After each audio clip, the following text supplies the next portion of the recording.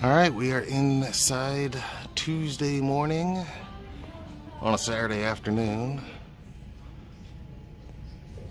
And uh, a little bit of Halloween making its way out on shelves.